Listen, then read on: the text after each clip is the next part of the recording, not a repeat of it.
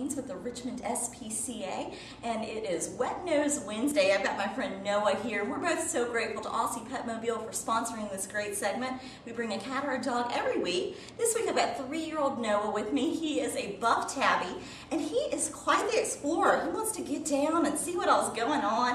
Um, I want to give him a better view of the room. This guy is already neutered. He's up to date on all of his vaccinations. He's also microchipped, just like all the pets at the Richmond SPCA. And he's quite the outgoing kitty who really adapts well to any new environment. So I think he'll be exploring your home in no time and really making himself at home. Um, Noah gets along well with other kitties. He's just now recovering from an upper respiratory infection.